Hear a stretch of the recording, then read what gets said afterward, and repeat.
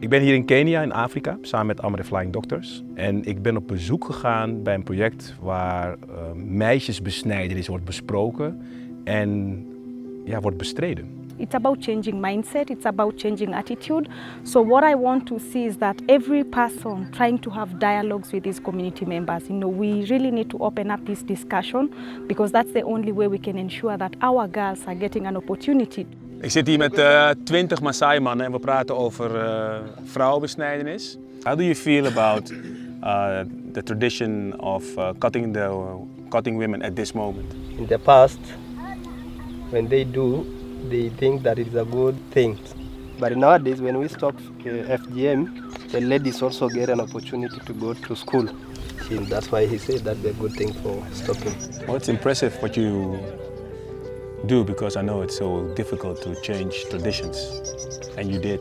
Er heeft zeker een verandering plaatsgevonden door het feit dat er um, steeds minder meisjes besneden worden.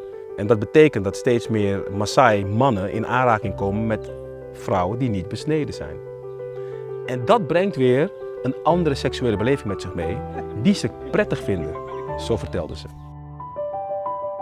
Nou, gisteren waren we bij de Maasai strijders. Vandaag weer bij een aantal andere Maasai, maar die zijn echt vader van, uh, van dochters. En nu ga ik een aantal van die vaders uh, portretteren.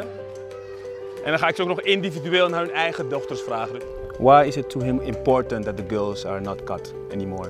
We started uh, AMREV, have really helped our community, uh, uh, telling us and teaching us about the, the bad things that come with uh, the cutting. Het begon bij bewustwording en uiteindelijk besluit. Maar voordat je bij bewustwording was, moeten mannen wel in bereid zijn om daarvoor geïnformeerd te worden.